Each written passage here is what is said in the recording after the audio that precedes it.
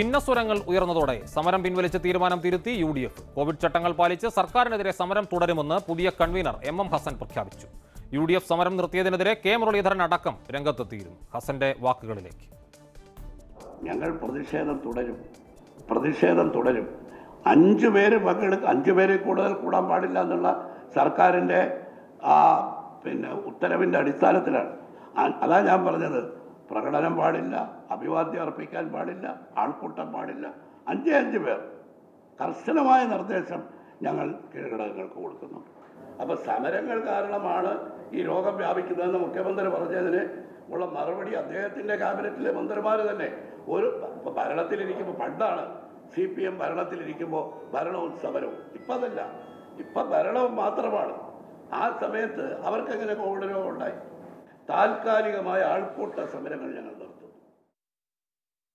ഈ പുനരാലോചനയ്ക്ക് കാരണമായ സാഹചര്യത്തിലേക്ക് പോകും മുമ്പ് കഴിഞ്ഞ ഇരുപത്തിയെട്ടിന് പ്രത്യക്ഷ സമരം നിർത്തിയതായി പ്രതിപക്ഷ നേതാവ് രമേശ് ചെന്നിത്തല പ്രഖ്യാപിച്ചു. ആ വാക്കുകൾ കേൾക്കാം. ഇന്നത്തെ ഈ സമരത്തോടുകൂടി യു ഡി എഫിന്റെ പ്രത്യക്ഷ സമര പരിപാടികൾ ഇനി ഉണ്ടാകില്ല. പ്രതിഷേധമുണ്ടാകും. പ്രത്യക്ഷ സമര പരിപാടികൾ യു ഡി എഫ് തൽക്കാലം നിർത്തിവെക്കുകയാണ്. കാരണം ഓരോ ദിവസം കഴിയുന്തോറും രോഗികളുടെ എണ്ണം വർദ്ധിക്കുന്നു. കമലേഷ് ചേരുന്നു തിരുവനന്തപുരത്ത് നിന്ന്. കമലേഷ് യു ഡി എഫ് സമരം നിർത്തുന്നതായി പ്രഖ്യാപിക്കുന്നു. തൊട്ടു പിന്നാലെ യു ഡി എഫ് കേന്ദ്രങ്ങളിൽ നിന്ന് തന്നെ പ്രത്യേകിച്ച് കോൺഗ്രസിനുള്ളിൽ നിന്ന് തന്നെ മുരളീധരൻ അടക്കമുള്ള നേതാക്കൾ വലിയ വിമർശനം ഉയർത്തുന്നു.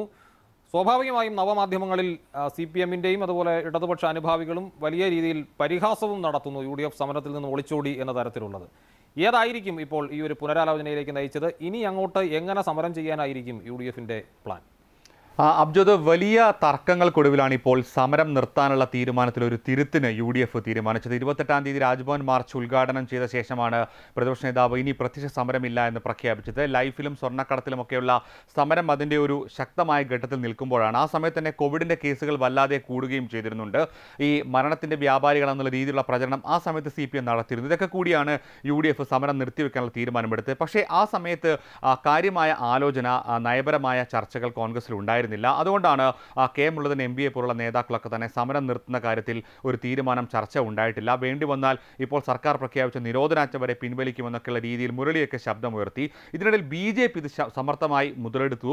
സർക്കാരുമായി ഒത്തുകളിക്കുകയാണ് കോൺഗ്രസ്. അതുകൊണ്ടാണ് സമരത്തിൽ നിന്നും ഒളിച്ചോടി എന്നുള്ള മറ്റുള്ള ബി ജെ പിയുടെ പ്രചരണവും ഏറ്റു. ഈ ഒരു ഘട്ടത്തിലാണ് സമരം നിർത്തിയ തീരുമാനം തിരിച്ചടിയാകുമെന്നുള്ള തോന്നൽ യു ഡി എഫിന് കോൺഗ്രസിന് ഉണ്ടായത്. അതാണിപ്പോൾ വീണ്ടും സമരം തുടങ്ങാനുള്ള തീരുമാനമെടുത്തത്. പക്ഷേ ഇപ്പോൾ നിരോധനാജ്ഞ നിലവിലുള്ള സാഹചര്യത്തിൽ അഞ്ചു പേർ മാത്രം വെച്ചുകൊണ്ട് എല്ലാ നിയോജക മണ്ഡലങ്ങളിലും പന്ത്രണ്ടിന് ആ സമരം നടത്താനാണ് തീരുമാനം. പിന്നെ അതിന് തുടർച്ചയായിട്ടും ഇതേ രീതിയിൽ അഞ്ചാളുകളെ വെച്ചുകൊണ്ടുള്ള പലതരത്തിലുള്ള സമരത്തിലേക്ക് പോകും. എന്നാൽ ഒളിച്ചോടി എന്നുള്ള ഒരു ഒരു ആരോപണമാണ് ഇപ്പോൾ ശക്തമാകുന്നത്. അതിനെ മറികടക്കാൻ വേണ്ടിയും ബി ജെ പി ഇത് മുതലാക്കുന്നത് ഒഴിവാക്കാനും വേണ്ടിയാണ് വീണ്ടും സമരരംഗത്തേക്ക് ഇറങ്ങാൻ യു ഡി എഫിന്റെ തീരുമാനം.